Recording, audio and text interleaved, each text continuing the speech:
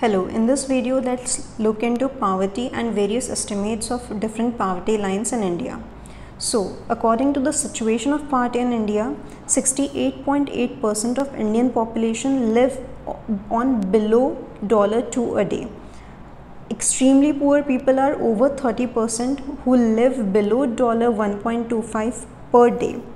If we look into the situation of urban party and rural party we'll get that in rural areas 25.7% people is li are living below poverty line whereas the situation is bit better in urban areas where 13.7% people are living below poverty line. These two facts and figures might help you in various essays, writing various essays. Okay, moving on. What is party? Two, two uh, definitions by leading leading important bodies are important. That is united nations and world bank will look into these two how they define poverty so according to united nations poverty is the inability of having choices and opportunities a violation of human dignity. It means lack of basic capacity to uh, participate effectively in society. So it's a very broad definition World Bank says it is the deprivation in well-being, low income and that aggravates situation like you cannot afford good food, good food, education, goods and services. So this is also a broad definition. Moving on, poverty line, poverty line basket and poverty ratio. What is it? So poverty line is a minim minimum expenditure that is required, the threshold expenditure that is required below which you cannot survive so effectively. So that is the minimum expenditure is called the poverty line. Poverty line basket we define as the minimum expenditure that is required to get basket of certain goods and services. This basket and basket of certain goods and services is called the poverty line basket or PLB and what is then the head count ratio? The proportion of population below poverty line is called the head count ratio. Okay pretty easy. Absolute poverty and relative poverty. Absolute poverty is extreme poverty where one cannot afford the basic necessities of life including food water health shelter education information whatever. Basic necessities of life one cannot afford that is absolute poverty.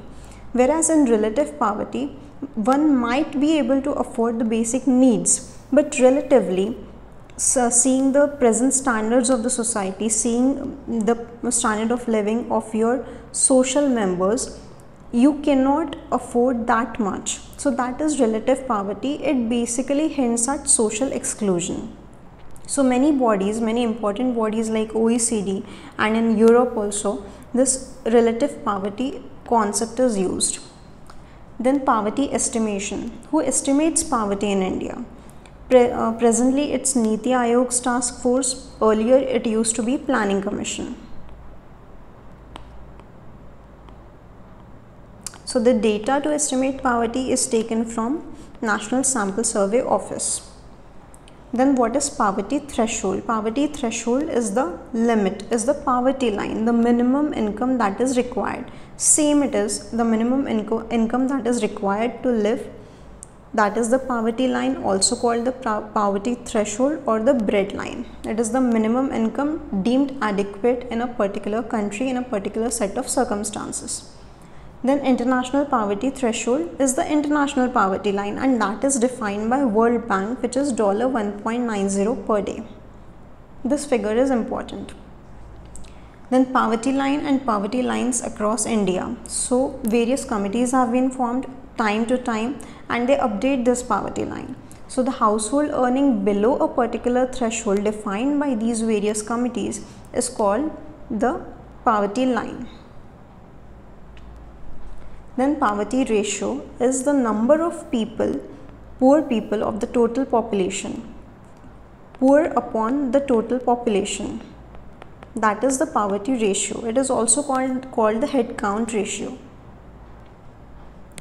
Then let's come to various committees. The first committee that was formed uh, to estimate poverty was YK Alagh committee and it was formed in 1979. So YK committee constructed a party line differently for rural areas and urban areas. And what was the criteria for that party, party estimation? It was nutritional requirement that is the calorie intake based on consumption expenditure.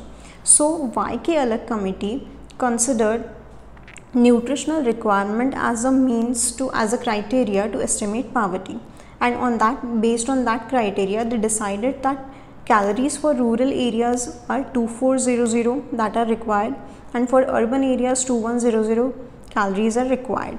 So the minimum expenditure to get this calorie to consume the, these much amount of calorie in rural areas was, was 49.1 per month. This is monthly. And two ones uh, and for urban areas it was 57.6 per month.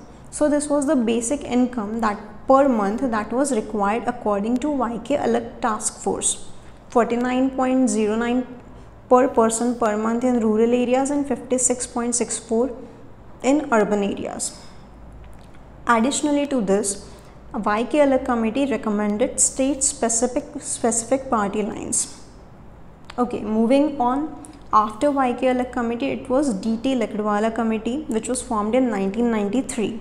Okay, so DT uh, committee recommended this that consumption expenditure should be uh, should be continued. This criteria of consumption expenditure which, which was earlier recommended by YK Alagh committee, Lakdawala committee continued that.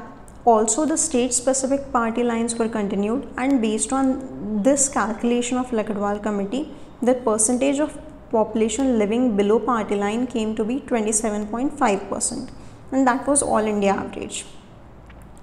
So between 1993 and the next committee that was constitu constituted that is in 2005 what happened was the consumption pattern changed also the inflation was inflation figure was different so because of these three these factors they have to redo, they have to reconsider the criteria of poverty line.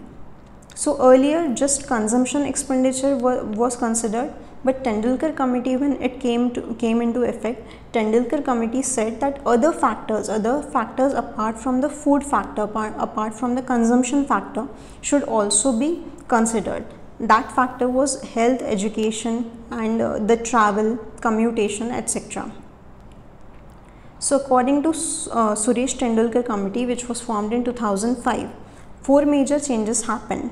A shift away from calorie consumption based party estimation which we saw earlier, a uniform poverty line basket, earlier it was state specific, we, we saw in Lakdwal committee and in YK Alagh committee. It was state, state specific party line but in Tendulkar committee it was a uniform party line. Also in YK Alagh committee and Lakdwal committee it was it was uh, mm, consumption expenditure on nutritional requirements that was the criteria. But it now in Suresh Tendulkar committee that sh it shifted that, that criteria. Okay. Then it incorporated private expenditure on health and education also. So uh, all considering all these factors the minimum income that Suresh Tendulkar committee came to conclusion was rupees 27 per day in rural areas and rupees 33 per day in urban areas. So using this um, calculation the party line was in 2004 when they calculated it it was 37.2 percent of the population lived below party line. When in 2009-10 they calculated using the same method it was 29.6 percent of population lived below party line. And when they calculated it by the same method in 2011-12 21.9 percent of the population it they found that lived below poverty line. So what happened was Tendulkar committee came into a major controversy because in Lakdwal committee the total population was 27.5 percent living below poverty line. But in Tendulkar committee the population suddenly rise. There was a rise in number. And because of these this uh, this thing this uh, Tendulkar committee recommendations become became controversial but we still use that. Then came Rangarajan committee which was constituted in 2012 so Rangarajan committee estimates are based on uh, the data from Center for Monitoring Indian Economy CMIE and using this methodology uh, the party threshold came to be 47 uh, rupees in, uh, in cities 47 rupees per day and 32 rupees per day in villages and the all india average people living in below people living below poverty line came to be 29.5 percent. So that was about committees and this is a quick chart which which gives the number found by various committees. So all india average a total party line was in 1993-94 according to lakdawal committee it was uh, 36 then when they calculated by Lakdawal committee um, uh, criteria, it was 27.5 percent. So according to today, we according to today we use a Tendulkar committee estimates because Rangarajan committee um, recommendations are still waiting, so waiting for a nod. So 21.9 percent calculation according to Tendulkar committee is our number for today. 21.9 percent population live below poverty line. And international poverty line is set at 1.90 dollars a day. So that was all about party and party lines.